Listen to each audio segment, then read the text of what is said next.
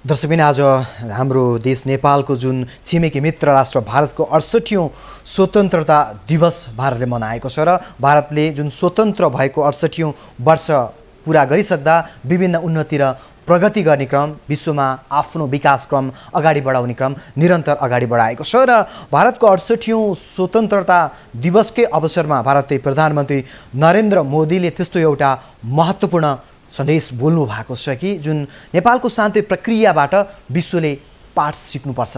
यसरी भारतले र सँगसँगै भारतका वर्तमान प्रधानमन्त्रीले नेपालको शान्ति प्रक्रिया सँगसँगै नेपालको विषयलाई किन यति धेरै महत्त्व दिइराख्नु भएको छ? सँगसँगै भर्खरै मात्र केही दिन मात्र भएको छ भारतीय प्रधानमन्त्री नरेन्द्र मोदीको नेपाल भ्रमण गर्नुभएको र यसै विषयमा केन्द्रित भएर आज हामीसँग कुराकानी गर्नको लागि आज हाम्रो स्टुडियोमा हुनुहुन्छ परराष्ट्रविद र सँगसँगै भारतमा राजदूत भइसक्नु भएका पूर्व राजदूत पनि हुनुहुन्छ।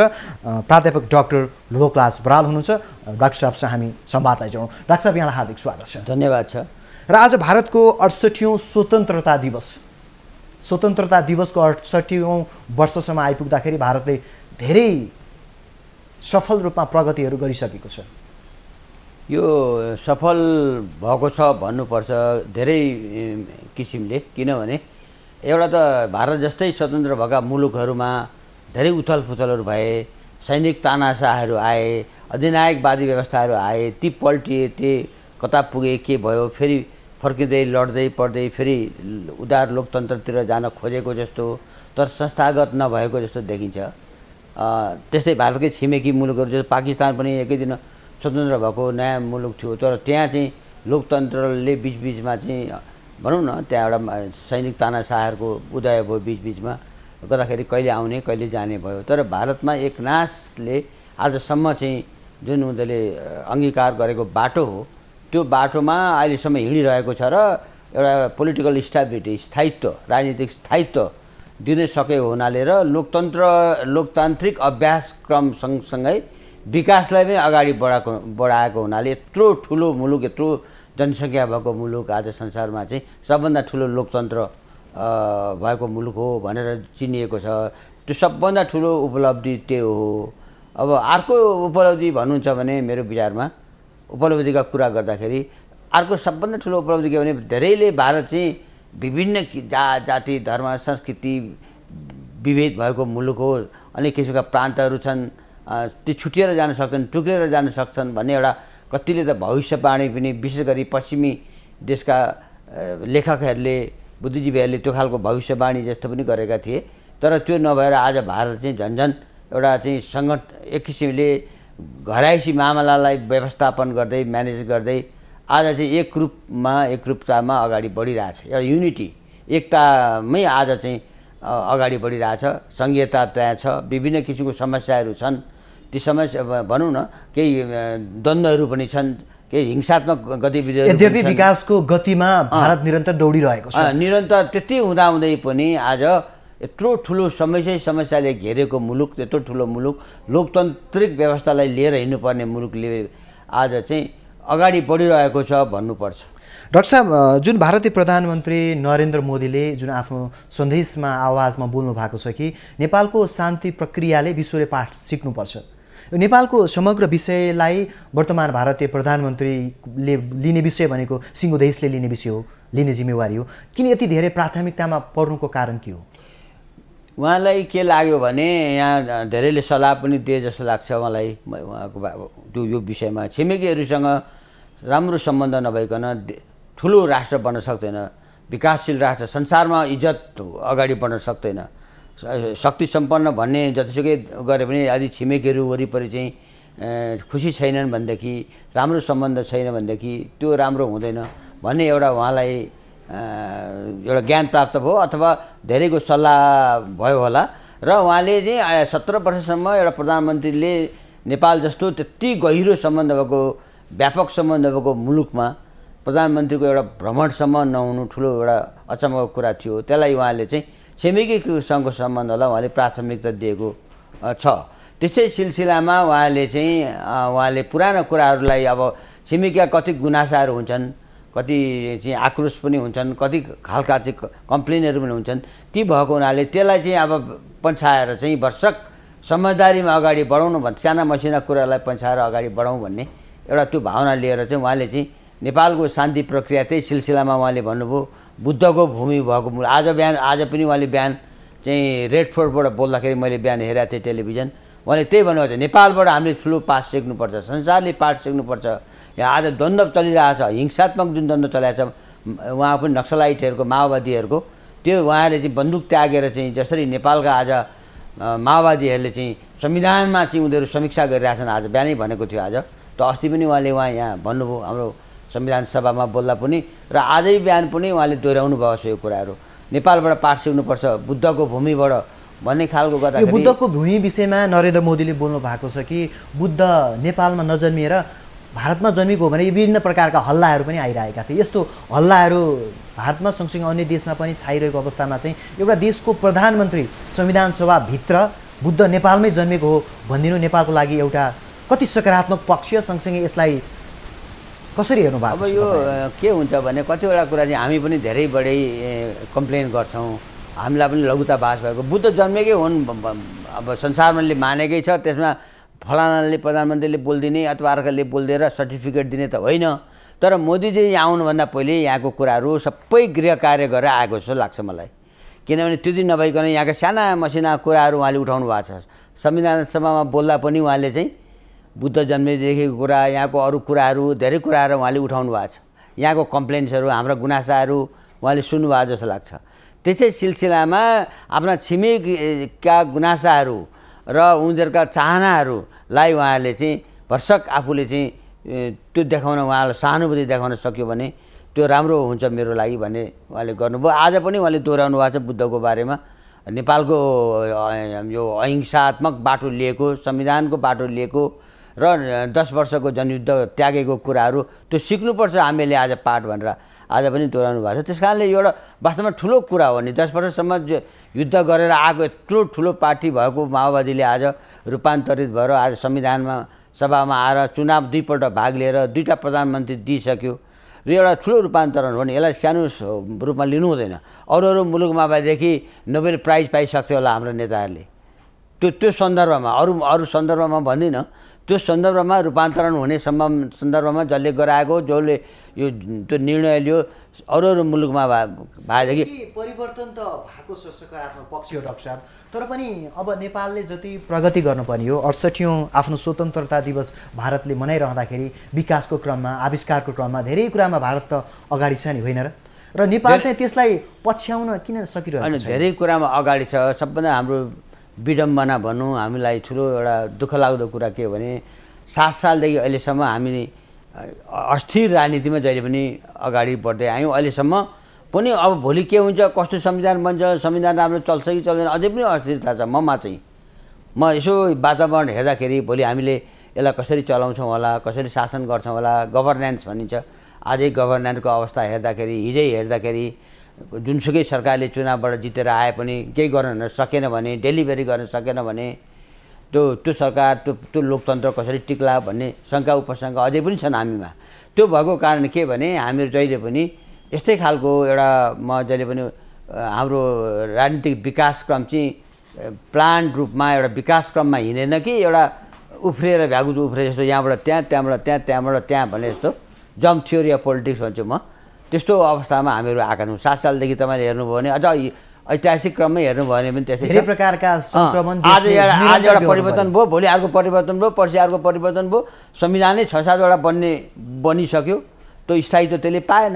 कुनै व्यवस्थाले स्थायित्व पाएन। अनेक त्यसमा कारणहरू छन्। अब यहाँ डिटेलमा भन्न मिल्दैन। त्यस कारणले अब हामीको हाम्रो चाहिँ पृष्ठभूमि फरक भइदियो। पोलिटिकल पार्टीको बनावट फरक परिदियो नेताहरूको धारणामा फरक परिदियो संस्थागत विकासमा हामीले पटक्कै ध्यान दिएनौँ। अझै पनि अझै पनि दिएका छैनौँ। संस्थाहरू भत्ता भुङ्ग भएर गएका छन् अहिले पनि। नेपालमा पछिल्लो आन्दोलन बैसठी त्रिसठीको जनआन्दोलन भएको माओवादी शुद्ध मिलेर आन्दोलन भएको पनि लगभग एक दशकको नेटोमा देश पुग्न लागिसक्यो। तर भारतको बिहार राष्ट्र पनि जुन क्रमिक रूपमा विकासको क्रममा धेरै फड्को मारिसकेको छ। तर नेपालले अब के गर्नुपर्छ त्यो विकासलाई पछ्याउँदै अगाडि बढ्नको लागि गर्नुपर्ने विशेष कुराहरू चाहिँ के देख्नुहुन्छ? नेपालमा पनि विकास विकास भनेको समग्रमा हेर्ने कुरा हो। एउटै पक्ष मात्रै खालि आर्थिक विकास मात्रै विकास होइन। अरू खालको विकास त नभएको होइन भएको छ। तर मुख्य विकास भनेको राजनीतिक विकास हो। प्राइमेसी अफ पोलिटिक्स भनिन्छ। पोलिटिक्स नै ठिक ठाउँमा छैन भनेदेखि अरू त यताउति परिहाल्छ त्यसलाई असर परिहाल्छ। आज राजनीति नै ठिक ठाउँमा बसेको छैन अझै पनि। अझै पनि हाम्रो चिन्तनहरू हाम्रो गराइ सोचाइ दलीयकरण भन्छु म। राजनीतिकरण पनि भन्छ दलीयकरण हुँदै गएको छ। हरेक ठाउँमा दलको भागभण्डाको चाहे विश्वविद्यालय होस् चाहे लोकसेवा होस् चाहे पुलिसमा होस् चाहे कर्मचारी तन्त्रमा होस् भागभण्डा भनेको दलीयकरण आफ्नो दलको मान्छे चाहियो। राजनीतिकरण त राम्रो एउटा सकारात्मक कुरा भन्छु म। त्यो त चेतनाको हो। पोलिटिसाइजेसन अथवा राजनीतिकरण भयो भनेको त मान्छे राजनीतिक रूपले अलिकति विज्ञ छन् जान्दछन् भन्ने अर्थ आउँछ। त दलीयकरण दलीयकरण पनि एकदम सूक्ष्म व्यक्ति व्यक्तिमा विभाजन भएर गएकोले आज मुलुक चाहिँ अलिकति ग्रस्त छ। त्यसबाट अब यो मुक्ति पाउने कहिले हो कसरी हो भन्दाखेरि चेतना नआए त मुक्ति हुँदैन। चेतना हाम्रो सबभन्दा ठुलो त राजनीति गर्नेहरूमा आउनु पऱ्यो नेताहरूमा आउनु पऱ्यो त्यसैले हामीभन्दा नेता फरक भएको कारण त्यही हो। हामीमा पनि आउनु पऱ्यो तर हामीभन्दा उनीहरूको जवाबदेही छन्। किनभने उनीहरू चाहिँ नेता हुन् लिडर हुन् लिड गर्नका लागि हुन्। और हामी सबैलाई लिड गर्ने भएकोले नेता। अब नेतामै त्यो कुरा आइदिएन भने चाहिँ यो विकासको गति हामीले चाहेको यस्तो समग्र विकास। भनौँ न इन्क्लुसिभ डेभलपमेन्ट। त्यसभित्र विकास गर्नको लागि भारतलाई पछ्याउनको लागि संविधान सभाले सँगसँगै हाम्रो देशका नेताहरूले सबै राजनैतिक दलहरूले विशेष गरी प्रमुख दलहरूले के के गर्नुपर्छ के के गर्यो भनेदेखि हामी पनि विकसित राष्ट्रमा रूपान्तरण गर्न सक्छौँ। विकास सबभन्दा ठुलो राजनीति कुन राजनीतिक बाटोमा लाग्ने हो तय हुनु पऱ्यो एउटा। त्यस- त्यसमा चाहिँ सहमति हुनु पऱ्यो एउटा एक किसिमको राष्ट्रिय सहमति हन्ड्रेड पर्सेन्ट सहमति नभए पनि पचानब्बे असी पचा पचासी सत्तरी पचहत्तर त्यस त्यति लेभलको चाहिँ समझदारी बढ्नु पऱ्यो त्यो त्यसमा चाहिँ। राष्ट्रिय हितको राष्ट्र- कुन कुन बाटोमा जाने हामी? अब कुन राजनीतिक प्रणालीमा जाने? त्यसको भोलि रूपरेखा के हुन्छ? फ्रेमवर्क के हुन्छ? त्यस अन्तर्गत अनि संविधान बनेर त्यो संविधानलाई सबैले ओनरसिप लिइदिनु पऱ्यो मानिदिनु पऱ्यो एउटा संविधान बन्छ भोलि अर्कोले च्यात्छु भनेर च्यात्न थाल्यो भने सडक आन्दोलन गर्न थाल्यो भने त्यो ओनरसिप लिएन भने त्यसले अपनत्व त्यसमा भएन भने त्यो त खतम भयो नि। जहिले पनि अस्ट्रेलिया हुने भयो। सबभन्दा ठुलो आज भारतमा त्यो समस्या भएन। भारतमा त संविधान सभाले मजाले एउटा त कारण के भइदियो भने उनीहरूको पृष्ठभूमि हाम्रोभन्दा फरक छ। एउटै पार्टीको वर्चस्व थियो इन्डियन नेसनल कङ्ग्रेसको। पचासी नब्बे प्रतिशत त उनीहरूकै मान्छे थिए। अनि अनि त्यसमा अरू अरूलाई चाहिँ ल्याइयो नोमिनेट गरेर ल्याइयो मनोनयन गरेर ल्याइयो कसैलाई उ गरियो। त्यसरी संविधान सभा बन्यो। उनीहरूको अनि उनीहरूको अर्को पनि प्रब्लम थिएन के भने कुन आइडियोलोजीमा जाने भन्दा क्लियर थियो। लोकतान्त्रिक डेमोक्रेटिक पार्लिमेन्ट्री सिस्टममा जाने उनीहरूको अभ्यास त्यसैमा भएको थियो पार्लिमेन्ट्री सिस्टममा संसदीय व्यवस्थामै जाने भन्ने उनीहरूले बहस गरे बहस गरेर त्यहाँ जाने भन्ने त्यो पनि निर्णय भयो अनि सिद्धान्तको पनि कुनै लडाइँ भएन कहिले जनवाद यहाँ जस्तो जनवादको कुरा कहिले कुन वादको कुरा कहिले चाहिँ बहुदलवाद मान्ने बहु के अरे बहु बहुदलीय व्यवस्थामा मान्ने बहुलवाद नमान्ने यस्तो चाहिन्छ। वादको कारणले वाद। अब त्यो वास्तवमा जान त सबै त्यही दलीय व्यवस्थामै गएका छन्। लोकतान्त्रिक लिबरल डेमोक्रेसीमै पसेका छन् सबैजना। जतिसुकै लडाइँ गरे पनि दस वर्ष जनयुद्ध गरे पनि माओवादीले चाहे एमाले पनि नक्सलाइट मुभमेन्टबाट मेरै जिल्ला झापाबाटै त्यो नक्सलाइट उस ब- बढे आएको हो। झापाली आन्दोलनबाट आएको पल्ली त उनीहरूको हत्या हिंसामै लागेका हुन्। त्यो पनि रूपान्तरण भयो। आखिर घुम्दै फिर्दै रुम्जाटार भने जस्तो लोक उदारवादी लोकतन्त्रमै जा गयो नि जान त सबै। त्यहाँ जानु छ भने आजै किन निर्णय नगर्ने? अब हामीलाई अर्को व्यवस्था चाहिन्छ यो हुँदैन यो भएन किन भन्नु? चाहिँ त्यो व्यवस्थालाई जनमुखी बनाउनु पऱ्यो लोकतन्त्रलाई जनमुखी त्यसले रूपान्तरण गर्न सक्ने होस् सबैलाई मिलाएर लान सकोस्। तब मात्र देश विकास सक्छ। भर्खरै मात्रै भारतीय प्रधानमन्त्री नरेन्द्र मोदीको नेपाल भ्रमण भएको केही दिन मात्रै भएको छ। र नरेन्द्र मोदीले चाहिँ जुन भारतबाट नेपाल आएर नेपाली जनताको मन जितेर जानु भएको छ। समग्र रूपमा बाटोमा आफू जुन संविधान सभा जाने क्रममा पनि सर्वसाधारण जनतासम्म बाटोमा ओर्लिएर गाडीबाट ओर्लेर हात मिलाउने कामदेखि लिएर विभिन्न काममा जनताको प्रत्यक्ष अप्रत्यक्ष विभिन्न तरिकाले मन जित्नु भएको सँगसँगै सन्देश पनि उहाँले संविधान सभाभित्र बसेर धेरै कुराहरू सुरुमा त नेपाली भाषामा बोलिदिनु भयो होइन? अत्यन्तै रूपमा उहाँले आफ्ना विचारहरू दिनुभएको छ। अब भारतीय प्रधानमन्त्रीको नेपाल भ्रमण सकिसकेको छ। अब यसबाट नेपालले के फाइदा लिन सक्छ? अब सबभन्दा ठुलो फाइदा भनेको हामीले नै गृह कार्य हामीले पनि गर्न सकेनौँ हामीले पनि कतिवटा गरेर चुकिसक्यौँ। त्यत्रो ठुलो अपर्च्युनिटी एउटा मौका थियो। एक दुईवटा सम्झौता सम्झौता गर्ने त्यसैमा हामी अल्मल्यौँ। चाहे त्यो ऊर्जा सम्बन्धी एउटा सम्झौताको कुरा होस् होइन? पिडिए भन्ने नि पावर डेभलपमेन्ट चाहे पावर ट्रेड। एग्रिमेन्ट त्यत्रो कुरो अब आएको छ। अब होइन एउटा सङ्घ एउटा हामीले डेढ दुई महिनामा एउटा गृह कार्य गर्न सकेनौँ। एउटा एउटा समझदारी पत्र बनाउन सकेनौँ। एउटा त्यसैमा हामी आफू हामी पनि चुक्दै गएका छौँ। मौका आउँछ त्यसलाई समाउन नसक्ने चुक्दै जाने अब मौका गुमाउँदै जाने त हाम्रो पनि काम हो। खालि भारतले मात्रै गरिदिएर मात्रै पनि हुँदैन। हामीले गर्नु पऱ्यो यहाँभित्र त। उहाँले अफर गर्नुभएको छ तपाईँ जे चाहनुहुन्छ भन्नुहोस् न। तयार पारेर ल्याउनुहोस् न भनेको हाम्रो प्रधानमन्त्री जाँदै भनेको थियो। त्यसमा फेरि पिडिए सम्बन्धी एउटा प्रस्ताव आयो। हुन त भारतले पनि ढिला गरेर पठायो। ढिलाइ गरेर पठायो। दुई महिना पहिले अढाई महिना पहिले त आएकै हो। त्यसलाई हामीले चाहिँ एउटा निर्णयमा पाँच सात दिन लगाएर गरेको हुन्थ्यो संवाद हामी फेरि पनि जोड्नेछौँ दर्शक किन आज हामीले जुन भारतीय अडसठौँ स्वतन्त्रता दिवसको अवसरमा भारत कसरी स्वतन्त्र भयो र सँगसँगै स्वतन्त्रता प्राप्त गरिसकेपछि भारत अहिले विकासको निरन्तर क्रममा अगाडि बढिरहेको छ विश्वमा आफूलाई उदाहरणको रूपमा निरन्तर रूपमा पेस गरिराखेको छ र यसै विषयमा केन्द्रित भएर हामीले पराश्रविद प्राध्यापक डाक्टर लोकराज बरालसँग कुराकानी गरिराखेका छौँ। समाजलाई फेरि पनि हामी जोड्नेछौँ यतिखेर पालो भएको छ विश्रामको।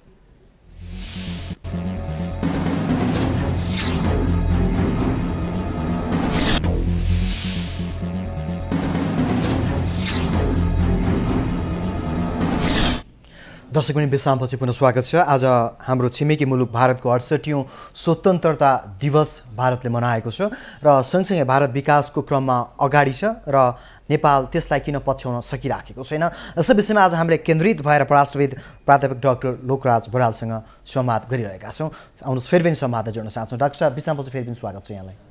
र भारत र नेपाल बिचको जुन विभिन्न विषयका वार्ताहरू विशेष गरी कर्मचारी स्तरीय वार्ताहरू बढी हुन्छन् सरकार स्तरको वार्ता कम हुने गरेको छ। र पछिल्लो समय भारतीय प्रधानमन्त्री नरेन्द्र मोदीको नेपाल भ्रमणपछि के अब एउटा सरकारी स्तरसँग यानि कि सरकारी स्तरमा पनि तपाईँको मन्त्री स्तरीय सरकार स्तरको वार्ता सुरुवात भएको के अनुमान गर्न सकिन्छ?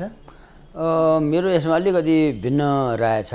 किनभनेदेखि वार्ता त कर्मचारी पहिले पनि राजनीतिक स्तरमा पनि नभएको होइन। प्रधानमन्त्रीदेखि लिएर मन्त्रीदेखि लिएर नभएको चाहिँ होइन। खालि भ्रमणहरू नभएको मात्रै हो। वार्ता हुने अनि घोषणाहरू हुने केही समझदारीहरू हुने नगरेको चाहिँ होइन। खालि के भनेदेखि अलिकति कुन कन्टेक्समा कुन सन्दर्भमा कुन पृष्ठभूमिमा वार्ता भयो? र त्यस पछाडि त्यसको कार्यान्वयन कसरी भए? ती वार्ताहरू त्यसका सम्झौ सम्झौताहरूको कुनै परियोजनाहरूको कसरी कार्यान्वयन भयो? त्यसमा भर पर्छ। अहिले चाहिँ अहिले चाहिँ होल माहौल उहाँ मोदीजीले परिवर्तन के गरिदिनु भयो भने होइन उहाँको एउटा एकदम सहयोग के अरे त्यो सकारात्मक एउटा स्टेपहरू भनौँ। माहौल सिर्जना माहौल माहौल सृजना गर्न उहाँ लाग्नुभयो। मेरो पनि विचारमा माहौलै सृजना नभई हाम्रो जुन छ शङ्का उपशङ्का हाम्रा जुन अविश्वासहरू छन् होइन ती कुराहरू सम्पूर्ण कुरालाई न अलिकति नपछाइकन नहटाइकन त समझदारी बन्दैन अगाडि बढ्दैन। आ भारतले भन्छ यसो गर्छ। र भारतीय प्रधानमन्त्रीले भन्नुभएको छ कि तपाईँहरूसँग के चित्त नबुझेको कुराहरू छ भने भन्नुहोस्। आउनुहोस् वार्तामा बसौँ। संवाद गरौँ समस्याको समाधान गरौँ भनेर भन्नुभएको छ। तर पनि नेपालमा पटक पटक सिमानाका विवादहरू होइन असमान सन्धिका विवादहरू आइरहेका छन्। अब यो सन्धिमा असमानता छ भनेदेखि त्यसलाई सच्याउने विषय अनि सिमानामा विवाद छ भने त्यसलाई समाधान गर्ने विषय। यसतर्फ नेपालले त्यस्तो एउटा ठोस प्रयास भए प्रयास गरेर पनि त्यो सफल हुन नसकेको हो अथवा नेपालको जुन सरकारी स्तरबाटै त्यो प्रयास नै नभएको के हाम्रो? हाम्रो देशमा धेरै कुरा चाहिँ नाराबाजी सडक सडकबाट निर्णय गर्ने भाषणबाजीबाट धेरै कुराहरू हुन्छ। र जुनै कुरा उठाएको भयो भने त्यसको गहन गृह कार्य भएको हुँदैन। त्यसको अध्ययन हुनुपर्छ अनुसन्धान हुनुपर्छ। कुनै सन्धिको बारेमा कुनै अर्कोको बारेमा भनौँ न त्यस कारणले अब राजनीतिकरण गर्दै गरे भारतले यसो गरौँ उसो गरौँ असमान सन्धि हो यसलाई खारेज गर्नुपर्छ भन्ने भन्दा पनि एउटा त्यसका अरू अरू सौहार्दपूर्ण हुनु सौहार्दपूर्ण ढङ्गले आफ्नो कुरा राम्रै अध्ययन गरेर यसको यसको यो प्रभाव पर्छ यसका यो कारण छन् यो यसै यसरी असमान भयो यसरी समान बनाउन सकिन्छ यसमा दुवै देशको हित छ उदाको जनताको पनि हित छ हाम्रो जनताको पनि नेपाली जनताको पनि हित छ भन्ने खालको एउटा राम्रो अध्ययन गरेर प्रस्तुत हुन पनि सकिन्छ। अब हो हल्ला गरेर नारा गरेर मैले त चालिस पचास वर्षदेखि हेर्दै आएको छु यो त। उन्नाइस सय पचासकै सन्धिको बारेमा थिचोमिचो सुस्टाको बारेमा फलानुको कालो पानीको बारेमा त कतौँ वर्षौँ उहिलेदेखि पच्चिस तिस चालिस वर्षदेखि त हेर्दै आएका छौँ अब। यी विभिन्न समस्याको समाधान समाधान गर्नपट्टि हामी हामी पनि लागेका छैनौँ। भारत पनि त्यति चासो यिनीहरू कराइरहन्छन् भन्ने जस्तो उसको पनि त्यस्तै कुराहरू आयो। त्यस कारणले अब हाम्रा कतिवटा कुरा मागहरू चाहिँ राम्रै भए पनि राख्ने तरिका पनि राम्रो भएन। र हामीले पनि राम्रो होमवर्क अझै पनि गरे उन्नाइस सय पचासकै सन्धिको कुरा अहिले चल्या छ। मेरो विचारमा उन्नाइस सय पचासको सन्धिको राम्रो अध्ययनै भएको छैन। हामीलाई कति त्यसले असर गर्छ भोलि त्यो नहुँदा त्यसलाई परिवर्तन गर्दा। किनभने त्यसका धेरै इम्प्लिकेसन्सहरू त्यसभित्र छन्। जनता जनता बिचको सम्बन्धको कुरा छ। हाम्रा नेपालीहरूले काम गरेको भारतमा जाने काम गरेको खुला सिमानाको कुराहरू छ। उताका मान्छेले यहाँ काम गरेको कुराहरू छ। दुइटा मुलुकले कसरी त्यसलाई व्यवस्थापन गर्ने? आज चाहिँ तपाईँले हिजै मैले पढिरहेको थिएँ एउटा कोरिया जाने मलेसिया जाने खाडी देशमा जाने हाम्रा युवाहरूको कुरा त छोडौँ भारतमा जाने हिजो चाहिँ अब गाउँै खाली भइसक्यो भनेर हिजो मैले कान्तिपुरमै पढिरहेको थिएँ। चार पाँच सय पाँच सात सय हजार पन्ध्र सय मान्छेहरूले गइरहेछन् दिनैपछि बसमा चाहिँ। होटलहरू खाली सानो होटलहरू सबै पुरा भएका छन्। मलाई यस्तो अवस्था छ कि त्यसलाई त्यो त्यो त्यो एरियालाई छुँदै नछुनु त्यो विषयलाई छुँदै नछुनु भन्ने कुरा होइन। त्यसमा राम्रो गृह कार्य गरेर अलिकति आफू पनि राम्रो ठाउँमा उभिएर चाहिँ वार्तामा गयौँ भने त्यसले फललाई एउटा रोल गर्छ। अब खालि असमान सन्धि भएर कराएर मात्रै पचासौँ वर्ष भइसक्यो कराएको के हुनेवाला फेरि हामी त्यसलाई एकतर्फीले हटाउन पनि सक्दैनौँ। यो सँगसँगै यो सन्धिको आर्टिकल आर्टिकल दस अनुसार भारतीय प्रधानमन्त्री नरेन्द्र मोदीले अर्को एउटा विषय के बोल्नु भएको छ भनेदेखि नेपालले चाहिँ हिन्दुस्तानलाई उज्यालो बनाइदियोस्। ताकि हामी पानी त्यत्तिकै लिएर जाँदैनौँ किनेर लिएर किनेर लिन चाहन्छौँ। उहाँले भनेको कुरा र चाहिँ यसमा चाहिँ नेपालले सशक्त पहल गर्न नसकेकै हो त? होइन नेपालले पनि यसमा दुइटै देशको भूमिका छ। नेपाललाई मात्रै भन्न मिल्दैन। म जस्तो म त्यो महाकाली सन्धि भन्छौँ पञ्चेश्वर महाकालीको जुन थियो अठार वर्ष शेरबहादुरकै गभर्मेन्टमा त्यति बेला पनि राष्ट्रिय सहमति भएरै गरेको। दुई तिहाई संसदको दुई तिहाई बहुमतले पास गरेको छ भन्नु होइन त्यसलाई दीर्घकालीन असर पर्ने गहन विषयहरूमा संसदको दुई तिहाई नै चाहिन्छ। त्यो त्यो महाकाली सन्धिलाई पनि अनुमोदन गरेको। तर त भएन त। हामीले पनि ज जसले एकदम भयङ्कर राम्रो काम गरौँ भन्ने पछि खुट्टा ताने हाम्रा नेताहरूले पनि यहाँ हो हल्ला भयो यहाँ त जे पनि राष्ट्रघात भइहाल्छ एकछिनमा। एउटाले राष्ट्रघाती काम गरौँ भनिदिइहाल्छ केही गरेर आयो भने। त्यो डर भयो त्यसलाई फेस गर्ने हाम्रो पनि तागत भएन। अगाडि बढाउन हामीले पनि राम्रो प्रयास गरेनौँ। भारतले पनि जहिले पनि हो हुन्छ नेपालमा यो पनि भने उसले पनि वास्ता गरेन। त्यो आज हेर्नुहोस् न। त्यस कारणले गर्दा हाम्रो हाम्रो औचित्यतामाथि हाम्रो हामीमाथि अलिक क्रेडिबिलिटी भन्छ नि विश्वसनीयता। विश्वसनीयता पनि हामीलाई चाहिएको छ। हाम्रो पनि काम गरेको त्यतै छ नि त हामी आज एउटा कुरा हुन्छ भन्छौँ भोलि फेरि त्यो अगाडि बढाउँदैनौँ। त्यस्तै खालको त्यस कारण दुइटै पक्षको यसमा दोष छ। आज मोदीजीले भन्नुभयो त्यो कुरा सही कुरा हो। यहाँ चाहिँ बिजुली भनौँ न अहिले हाम्रो बाह्र घन्टा आज लोड सेडिङ छ। तपाईँले बाह्र घन्टा लोड सेडिङ छ। काम ठप्प छ कुनै उद्योग धन्दा कल कारखाना केही चलेका छैनन्। हाम्रो उत्पादन प्रणाली नै खतम भएर गइरहेछ ह्रास भएर गइरहेछ। निकास भने केही गर्ने छैन। खालि उताबाट आयात मात्रै गर्ने अम, बढी बढिरहेछ। होइन व्या- व्यापारमा अन्त ठुलो असन्तुलन छ व्यापार घाटा त्यत्रो छ। यो कुरा जान्दा जान्दै हामीले त किन ऊर्जामा ध्या- ध्यान दिँदैन त? खालि अब एउटा प्रोजेक्ट हुन्छ त्यसैमा एक वर्ष लाने ठाउँमा पाँच वर्ष दस वर्ष पन्ध्र वर्ष ला लगाइदिएछ हाम्रो हाम्रो पनि त काम गराइ त्यही छ। अब भारतलाई मात्रै त्यस कारणले दुइटै पक्षको छ। अब चाहिँ आएर चाहिँ एउटा सकारात्मक सोच राखेर सहयोगात्मक सम्बन्ध भन्छु म।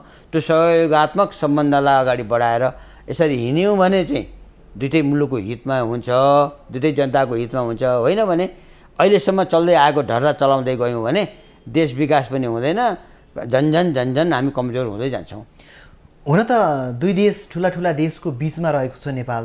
दुइटै देश क्रमिक रूपमा विकास हुने क्रममा छन् अगाडि बढिराखेका छन् विश्वमा आफूलाई उदाहरणको रूपमा पेस गरिराखेका छन्। र भारतले नेपाललाई हेर्ने नीति नेपालको शान्ति प्रक्रिया यहाँको वातावरण शान्ति अशान्ति द्वन्द्व र भारतलाई पनि नेपालको शान्ति प्रक्रिया सफल हुनु नहुनुमा त्यसले असर पर्छ नि होइन र? एकदम पर्छ। यहाँ परे परेकै रहेछ उनीहरूलाई आशंका थियो कि नेपालका माओवादी र आन्ध्र प्रदेशकादेखि बिहारदेखि लिएर होल छत्तिसगढ र मा- उतातिरका चाहिँ सबै मा माओवादीको बिचमा साँठगाँठ पो हुने हो कि? ठुलो एउटा शक्तिको रूपमा आउने हो कि भन्ने कत्रो उनीहरूलाई पनि किनभने नेपाल भन्ने मुलुक त भारतको मुटुमा बसेको छ नि त।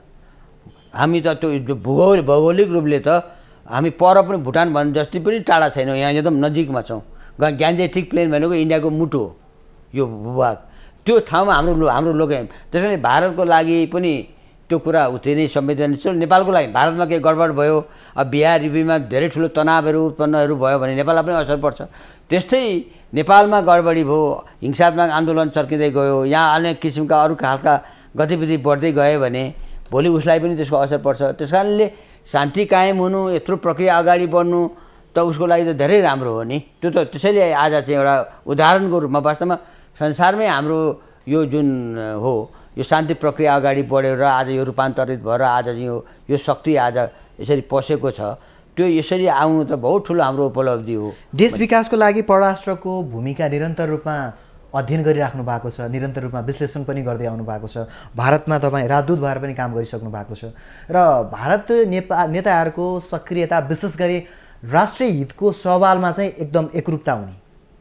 र नेपालमा चाहिँ राष्ट्रिय हितको सवाल प्रमुख सवाल यतिखेर संविधानै रहेको छ होइन र यसमा पनि अझ पनि सहमति बनाउन छ। सबभन्दा ठुलो राष्ट्रिय हित भन्ने नि हामीले आफ्नो आफ्नो सब्जेक्टिभ व्यक्तिगत हिसाबले मात्रै हिसाब किताब गर्छौँ। मेरो दृष्टिमा त्यो राष्ट्रिय हित हुन्छ अर्को दृष्टिमा राष्ट्रघाती हुन्छ। हाम्रो त्यो यो यतै पनि मिलेकै छैन कुरा। अझै कन्भर्जेन्स भएकै छैन। केलाई राष्ट्रघाती भन्ने केलाई अराग भन्ने भनौँ न। बाबुरामजीले सम्झौता गरेर आउनुभयो इन्डियासँग अरूसँग पनि त्यो सम्झौता हुन्छ। अब विवाद सम्झौता गर्दाखेरि राष्ट्रघाती भयो भन्ने भयो महाकाली सन्धिलाई दुई तिहाईले पास गर्यो संसदले। संसद जस्तो जनताको प्रतिनिधिको दुई तिहाईले पास गरेकोलाई राष्ट्रघाती भनिन्छ। तपाईँले केलाई चाहिँ राष्ट्रघाती नभएको के चाहिँ राष्ट्रवादी भएको मान्ने? त्यसो भने त व्यवस्थालाई जनतालाई नै नमानेको भयो भने जनता नै सोभेर आज पनि त आज संविधान सभा त सोभेरेन बढी हो त्यो बडीले भोलि पास गरिदियो भने त्यो निकायले भोलि केही कुरा पास गर्यो भने र अर्कोलाई चित्त बुझेन भने राष्ट्रघाती भयो भन्दा त मिलेन नि कुरा। आखिर जनताको प्रतिनिधि नै। हुन् तिनी चाहे हामीले राम्रो भनौँ नभनौँ जनताले छानेकै प्रतिनिधि हुन् नि। त्यस कारणले हाम्रो सोचाइमा पनि अलिकति त्यो अलिक व्यापकता आउनु पऱ्यो राष्ट्र राष्ट्र हित भनेको के हो? त्यसलाई त्यो राष्ट्रिय स्वार्थ भनेको के हो? त्यसलाई कसरी अगाडि बढाउने? मेरो दृष्टिकोण म पनि राष्ट्रिय स्वार्थकै कुरा गर्छु। अर्को मलाई विरोध गर्नेले पनि राष्ट्रिय स्वार्थकै कुरा गरिरहेको हुन्छ। तर हाम्रो बिचमा एउटा एक किसिमको न्यूनतम खालको एउटा समझदारी त हुनु पऱ्यो न नजिकता त आउनु पऱ्यो हाम्रो परिभाषामा। त्यो मैले नेपालमा देखाएको छैन। अब अहिले अब अहिले भनौँ न यही ऊर्जाको कुरा आएको छ। भारतले हामी हामीहरू तयार छौँ सहयोगात्मक सम्बन्ध बढाउन भनेर भनिरहेको छ। आज पनि उहाँले बिहान प्राइम मिनिस्टर मोदीले बिहान लाल किल्लाबाट भाषण गर्दा त्यही भनेको छ कि सार्क मुलुकका राष्ट्रहरूले अब हामीले चाहिँ अब यो गरिबी निवारण गर्न सक्यौँ। सक्नुपर्छ। हाम्रो त्यसमा साझा प्रयास।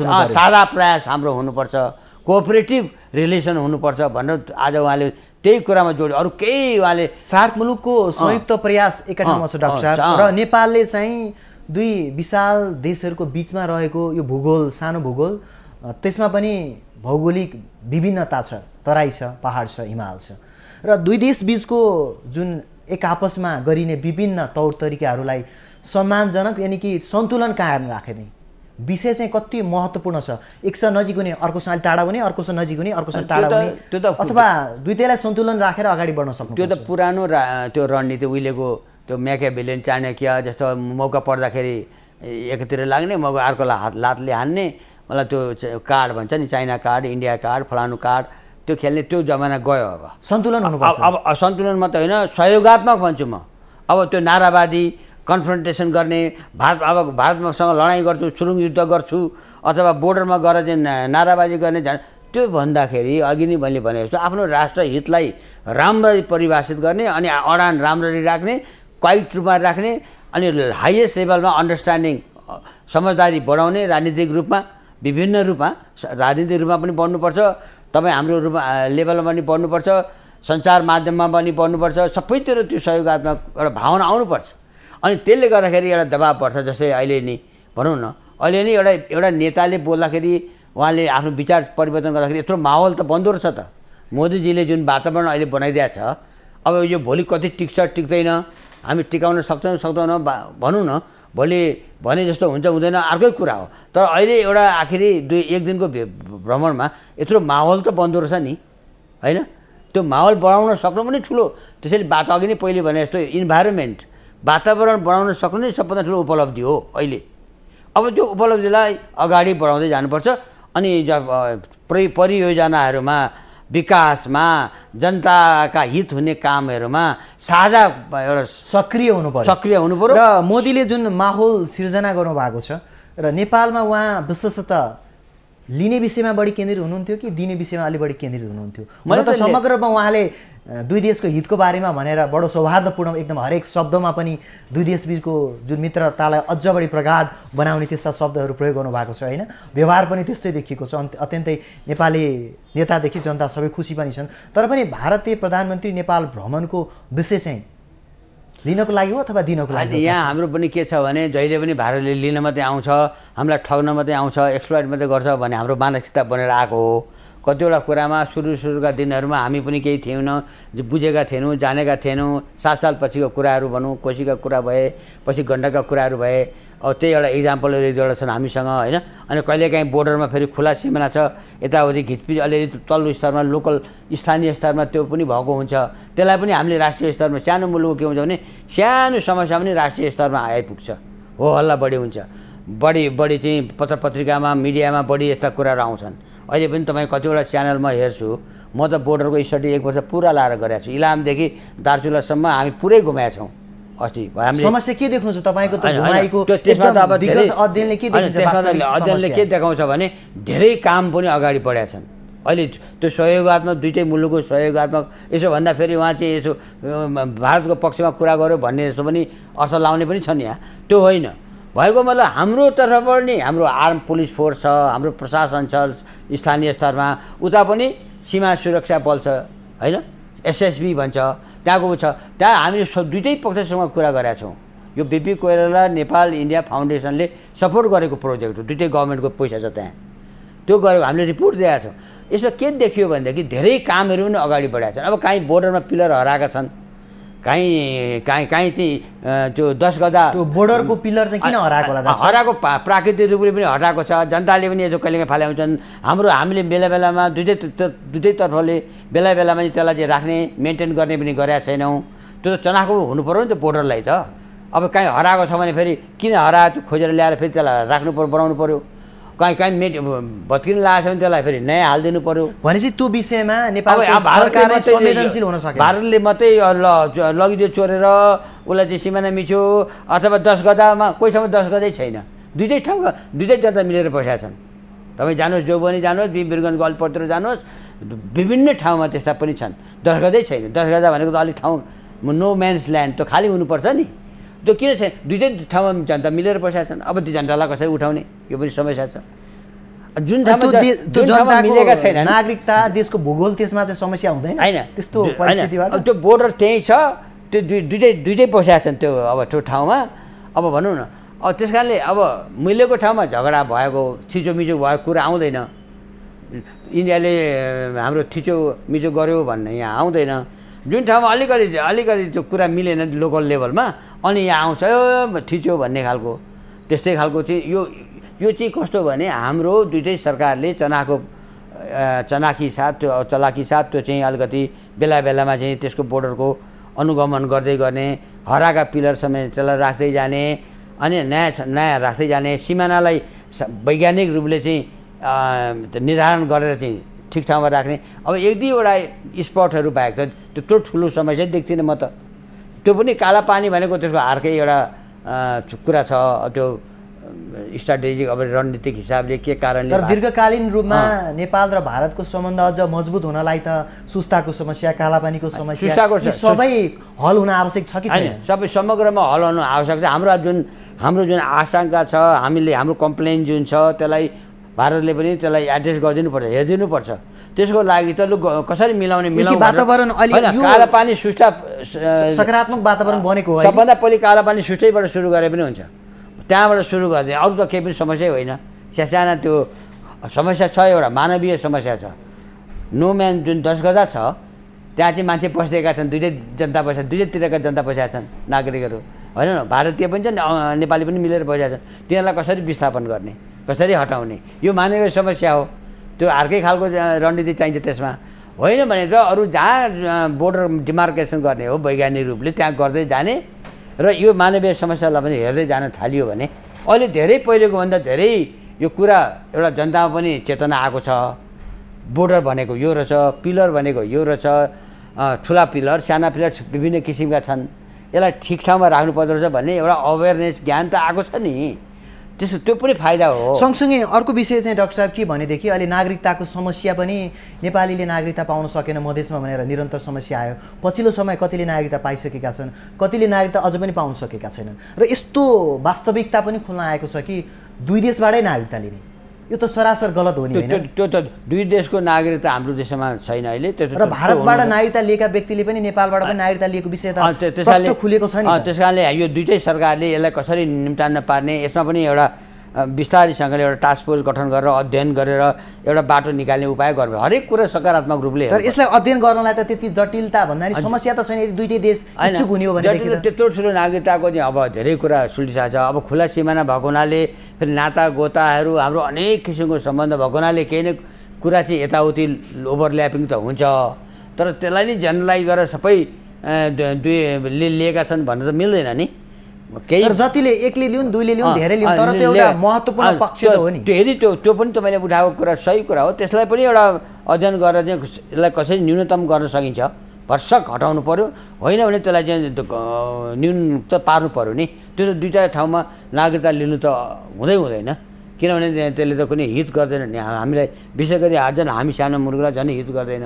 बढी मान्छेहरू सानो भनौँ न। भोलि हामीलाई चाहिँ जनसङ्ख्याको चाप धेरै पर्ला भन्ने हुन्छ। तर त्यो भनेर के भने अब सन्धि पनि छ। दुईवटा देशको जनतालाई सन्धि अनुसार त बराबरीसँग ट्रिटमेन्ट गर्ने भनेको छ। तर अब त्यो सन्धि सन्धिमै चाहिँ सीमित छ? कतिवटा कुराहरू त सन्धिमा अब नभएका कुरा भइसके कति हामी अगाडि बढिसक्यौँ कति इन्डियनले पनि आफ्नै किसिमले अगाडि बढेका छन्। त्यस कारणले यो चाहिँ सहयोगात्मक सम्बन्धको माध्यमबाटै यी समस्याहरू हल हुनुपर्छ मेरो विचारमा। र अब भारतको यो अडसठौँ स्वतन्त्रता दिवस भारत अगाडि बढेको छ आविष्कार छ चमत्कार छ। हाम्रो शुभकामना पनि छ प्रगति भएकोमा मित्र राष्ट्रले। अब नेपालले चाहिँ यो प्रगतिबाट पाठ सिकेर निरन्तर रूपमा नरेन्द्र मोदी भारतीय प्रधानमन्त्रीको नेपाल भ्रमण सँगसँगै नेपालको विषय निरन्तर रूपमा उहाँले आजको सम्बोधनमा पनि उठाउनु भयो होइन? नेपालको शान्ति प्रक्रियाबाट विश्वले पाठ सिक्नुपर्छ। भनेपछि नेपालको शान्ति प्रक्रिया सकारात्मक मोडमा अगाडि बढेको छ। जुन नेपालको शान्ति प्रक्रिया यो दिनसम्म आइपुग्दाखेरि संविधान सभा दोस्रो पटक भएको संविधान सभाको यो संविधान सभाभित्र जुन भारतीय प्रधानमन्त्रीले सम्बोधन गर्नुभयो त्यसको पूर्वाधार भनौँ अथवा सुरुवात भारतमा भएको बारबोई सम्झौता नै हो। त्यस कारणले गर्दा अब नेपालले भारत जस्तै सफल राष्ट्र बन्नको लागि विकासको क्रममा अगाडि बढ्नको लागि हामी हाम्रो संवादको अन्तिम क्षणमा छौँ डाक्टर साहब। के गर्नुपर्छ?